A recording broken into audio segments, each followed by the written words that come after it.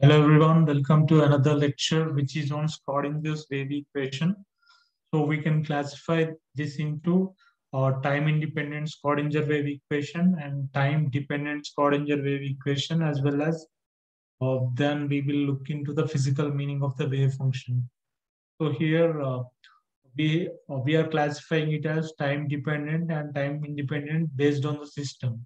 A system can be either time dependent or time independent.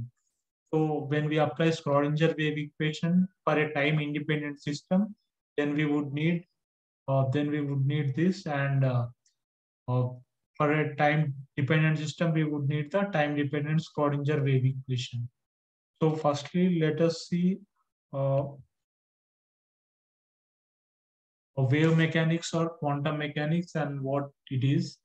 Like so here, uh, quantum mechanics or wave mechanics, it is developed by incorporating the principles of quanta, that is, uh, which is introduced by Max Planck, that energy is a packet of energy is called quanta. And uh, next, the wave particle duality principle, which is introduced by de Broglie. So combining these two, wave mechanics or quantum mechanics is formulated. So now on the basis of wave particle duality, the motion of electron in a crystal uh, can be described by this wave theory. So to understand the uh, behavior of a electron in a crystal, uh, we were able to uh, get closer to the experimental results only after uh, formulating it based on quantum mechanics. So now the wave theory is described by Schrodinger wave equation. So based on these principles, a mathematical model or a mathematical way of uh, uh, dealing with the system is given by Schrodinger and uh, which is Schrodinger's wave equation. So the Schrodinger's wave equation is in general form. Now we have to convert it into dependent or independent or we can apply to a particular system and apply boundary conditions and uh, and so forth. So based on those conditions, the equation is gonna change. But the general Schrodinger wave equation is unique, and that we will see. So here, uh, the wave equation, which is also called Schrodinger's wave equation, it is a one-dimensional and non-relativistic. Uh, it is non-relativistic. So here this is the equation that that is a general form of Schrodinger's wave equation. Minus h cut square by 2m dou square psi of x comma t by dou x square plus v of x into psi of x comma t equal to i h cut dou psi of x comma t by dou t. Now here psi of x comma t is the wave function.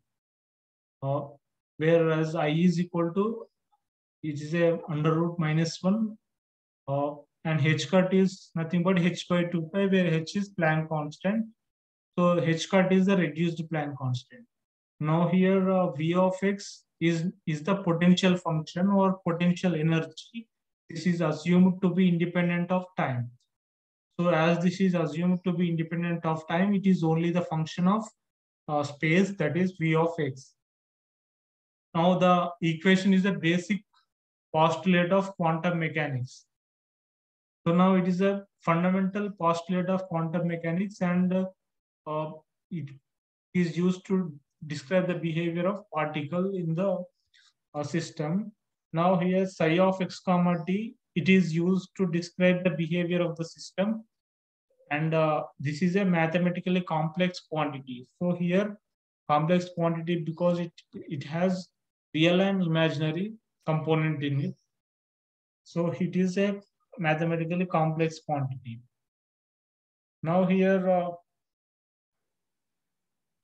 now you may see here by using the technique of separation variables, we may determine we may determine the time independent portion and time dependent portion of the wave function. So when you look into this, it has both time independent and time dependent parts. But now when uh, this psi of x comma t can split into two functions. One is a function of x and the and it is independent of time.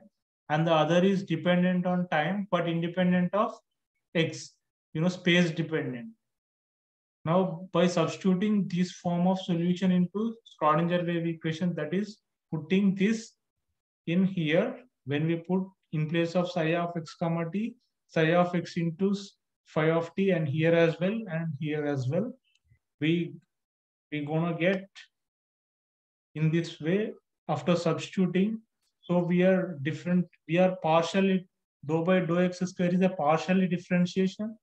So when we are partially differentiating with respect to x, phi of t is constant. So we have taken it outside and uh, here is the case and here also we have taken psi of x here partial differentiation with respect to time. So psi of x is constant. So we have taken outside and then when we divide the above equation by psi of x into phi of t, here phi of t, phi of t get cancelled and in the denominator psi of x will be there.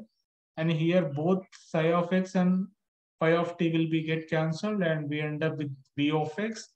Now this is equal to high h cut psi of x and in the denominator psi of x will get cancelled. So we get phi of t into dou phi of t by dou t now this is equal to energy.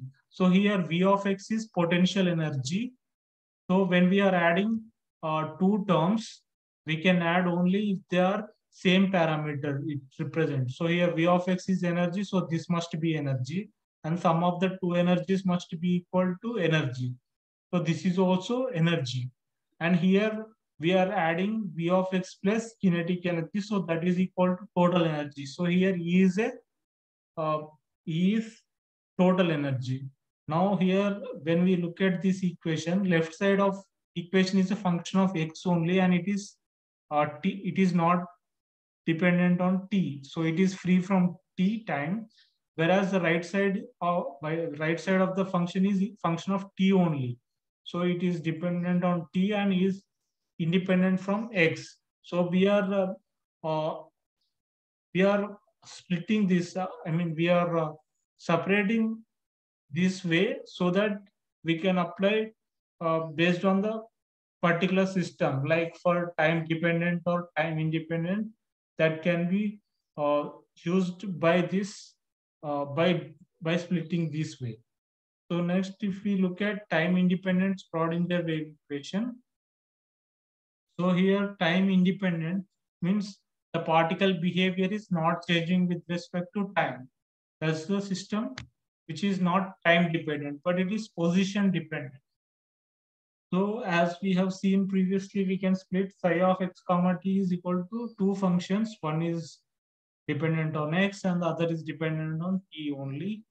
And uh, so when we substitute that uh, into the Schrodinger wave equation, so the unique general equation, this is common.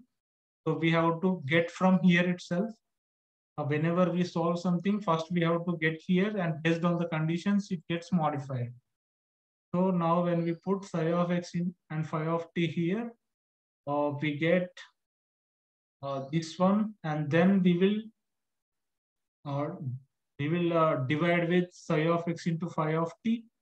So when we do that, so here again, it's a partial differentiation with respect to x. So phi of t will be constant. And here partial differentiation with respect to time. So psi of x will be constant. Now when we do this, minus h cut square by 2m into 1 by psi of x, dou square psi of x by dou x square plus v, which is equal to high h cut by phi of t into dou phi of t by dou t. Now, when we take this psi of x, uh, when we multiply the whole equation with psi of x, it will go from the denominator and here we multiply and again here we multiply the same. So then, uh, then if you see here, uh, this is for three dimensions. So here, this is for one dimension. So psi of x. And uh, Remember that the Schrodinger wave equation can be applied to three dimensions as well. If in case our system is only in one dimension, then we will use only one dimensional case that is x square. If it is two dimensions, we will use x square as well as y square. For three dimensions, dou square by dou z square and this psi is function of x, y, z if it is three dimension. If the system is in two dimensions, it is uh, function of x comma y or y comma z, whatever, but only two dimensions. If it is in um, one dimension, then it is function of x.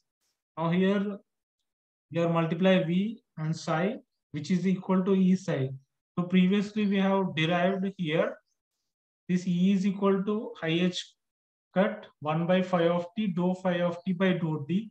So as we have separated the equation in this manner, we are able to uh, get a time independent Schrodinger wave equation because uh, we are replacing this IH cut by phi of t, dou phi of t by dou t as total energy, which is which is free independent of time. So now this is equal to E psi. So now this equation is it is time independent. As you can see here, uh, so we can represent dou square by dou x square plus dou square by dou y square plus dou square by dou z square as del square and into psi plus v psi is equal to e psi. So here it is independent of time. So we achieved uh, time independent case uh, this way. So whatever we derived, we came from the general uh, Schrodinger wave equation. So always come from here and uh, based on the cases, we can uh, formulate it as per the requirement. So this is our time independent Schrodinger wave equation. In the next lecture, we will see time dependent Schrodinger wave equation. Also, please subscribe my channel if you are watching for the first time. And if you like this video, give a like and share with your friends. Thank you so much for watching.